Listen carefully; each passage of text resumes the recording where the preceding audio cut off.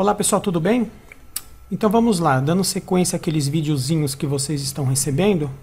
Então vamos fazer agora a pergunta para o V-Ray, né? Por que usar o V-Ray nos seus projetos, né? Antes de mais nada, o que, que é o V-Ray, né?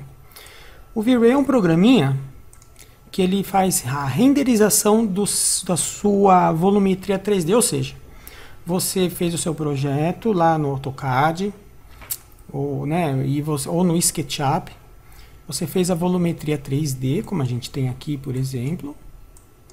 E aí você gostaria de deixar ela fotorrealista, ou seja, fazer com que ela parecesse uma foto de verdade, que você pudesse aplicar texturas, materiais, a luz. E a partir dessas aplicações, você conseguir gerar um, uma foto, parecida uma foto, né? uma imagem foto real. Então é isso que o V-Ray faz. O V-Ray existe para o SketchUp, existe para o 3D Max, que é esse caso que eu estou mostrando, existe para o Revit, existe para vários programas, ok? E quando você utiliza o renderizador, né, V-Ray, você sabe trabalhar com ele, o que, que você pode chegar? Qual o resultado que você pode chegar? Então eu vou mostrar para vocês. Ó. Nós podemos com o V-Ray, por exemplo, aqui, olha só, é uma foto real, né?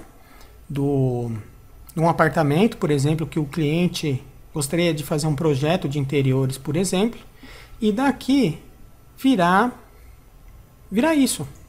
Tá vendo só? Isso aqui ainda é um projeto que né, está sendo feito, mas dá uma olhada só. Você consegue criar então uma imagem partindo aqui desse programa, ok, pessoal? Vou voltar aqui e mostrar outras para vocês. Olha só, olha só, outros ângulos, né? Também dessa mesmo, desse mesmo apartamento.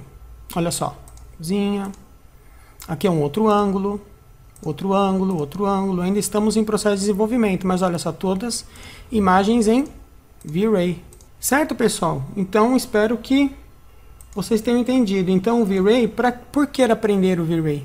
O V-Ray é essencial para que você surpreenda seu cliente ou seu professor ou, ou que você pegue o seu trabalho né, em 3D e deixa ele surpreendentemente realista, ok?